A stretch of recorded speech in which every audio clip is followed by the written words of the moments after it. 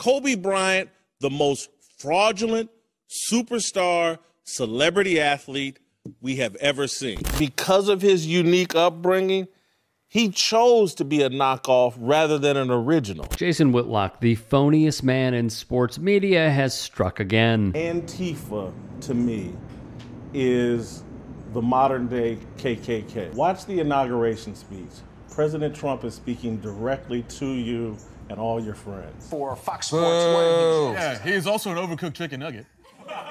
Everyone's least favorite sports writer showed his behind in a hilarious cell phone. They're not victims of an exploitive patriarchal tradition. American men led the world in granting freedom and autonomy to women. Blood in, blood out. Trump in, Trump out. A man who talks about women, family, and society in this way. There was a bit of a racial element to the pre fight. I'm, I'm not so sure about that, though. You know, I'm not Go so ahead. sure there was no racism in the fight. I didn't see any. No, no, no, no, no. Not racism, but like there was a racial element to the pre-hype, hyping the fight. They used Great White Hope versus Black Fighters, a traditional Yeah, but we're all storyline. human beings. It doesn't matter if you're black, white, pink, or green. He's been torn to shreds by Tyson Fury. Kobe, not to twist your words or read too much into what you said, but being around young players energized you. That's not a statement about maybe you'd like to see some young players on your team. Wow. That, you know what? That's a Bikram yoga stretch. You stretched the hell out of it. Good job. Good job. I'm not even going to answer that. That's just silly. Next. and the late Kobe Bryant, who Whitlock, pre hair plugs, criticized at every turn. The latest debacle, so great it might be the moment of the year, and we're two days in. Let me explain. So, Jason Whitlock, a man who has rubbed people the wrong way, not just in society, but also corporate heads, demands attention at every turn. Especially through his social media accounts. And he got exactly what he asked for after tweeting, I'm looking at NFL standings on ESPN.com. This is the ad running above the standings. How is this possible? Appropriate? Jason, they're called targeted ads. You dope. You goober. Mm, this, this is so good. this is delicious. and it's January 2nd. It's the same idiotic school of thought that these dudes think is like, oh, Google's gone woke. They're tweeting ads based upon their search history. It would out Benny Johnson, a member of Charlie Kirk's TPUSA movement. Well, that was, you know, post plagiarizing work for BuzzFeed. Mediaite wrote of the Whitlock debacle that it may or may not have been a birthday card. Was he searching for birthday cards? No, he- he'd clarify he was not. and he took a picture of the screen with his phone. He said, I'm looking at standings on ESPN.com. This is the ad running above the standings. How is this possible? Appropriate? The ad in question uh, was a card that said, Balls deep inside of me is a great way to spend your birthday. A nice, fun little birthday card. Um, as many people have pointed out, those ads are based on your search history. They're cookies, something that Jason Whitlock is intimately familiar with. Wasn't there more on the description of like what? It was like great gifts for your boyfriend or your partner. It's a, a one pack, funny, happy birthday, him, husband, boyfriend, birthday gifts, decorations. Yeah.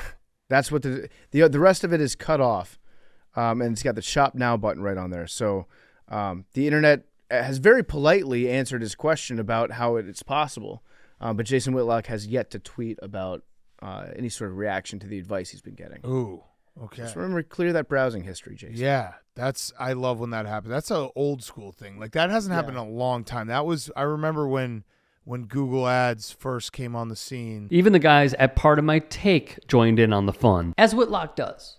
When he is in the wrong, which is every second, he never admits fault. What he does is double down, triple down, quadruple down, defend himself. I, I can't be wrong. It- it's, it's Google that's the problem. I, I can't be wrong. I, I need to tell you about what it's like to have the American dream of a family. Wait a minute, I don't have a family. I I I don't I'm I don't have kids, but I'm going to tell you how you should handle your kids.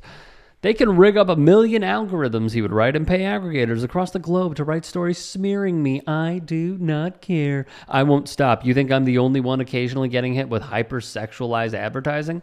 If all it takes is searching the wrong thing or clicking the wrong link or criticizing favorite groups, I made an enemy of ESPN and the Alphabet Mafia that controls Disney. Powerful enemies. Oh, yes, it's the Alphabet Mafia. Not me searching for chicks getting felt up and getting filled to the brim. Yeah, Jason. Yeah, Jason. We're not this stupid, man. We're not. I love this. I love all of this.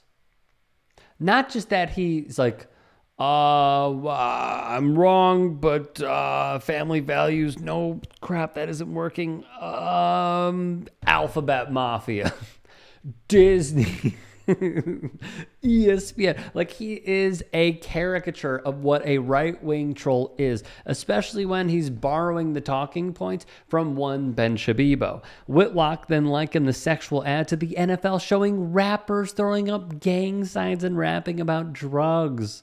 Nothing justifies that, he continued. We mainstream porn, visual and lyrical, in every way possible. We don't even bat an eye. We've accepted it. I'm going to complain about it. Quick aside here, Jason. Just a quick question for you, if you don't mind me asking real quick. So, you don't like the fact that we have visual porn, as you said, somehow equating you searching a woman taking C shots to the NFL and, you know, Jay Z putting on Dr. Dre and Snoop Dogg. Dumb. But let's just try to be a little consistent here with your own line of thinking. So, visual porn, that's bad.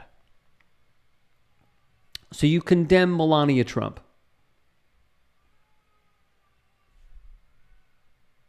So you condemn the former first lady going bare ass spread eagle in a magazine, right? So she should be canceled for it, right? That's what you're saying? Got to come down hard on this stuff.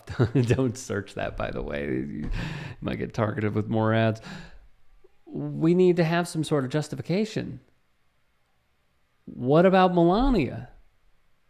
She did porn. Where is the outrage? That's right. There is none. Because it would hurt your brand. And it would hurt your deal with Glenn Beck's The Blaze. He calls Kobe Bryant the most fraudulent superstar. This is the most fraudulent member of media right here. Jason Whitlock. Again, giving us the moment of 2024 that we didn't know we needed. Then he would go on to say, the other side is going to blame me for complaining and say I brought it on myself. No one will ask why. May See, this is this is hilarious. I'm just gonna leave that up there. He also used the R word, corporate grooming. Aside from using terrible language, as a writer, I would hope one wouldn't stoop to that level. But considering it's Jason Whitlock, it's already starting below the floor. Yet, if we're going to follow the grooming aspect, there were logs of a history of airplanes going up and down in the sky, if you catch my drift. Who was featured on those logs, Jason? That would be the man that you sold out even more than you already did for. That would be the former president, Donald Trump, who you defend to a T. What about the grooming aspect there?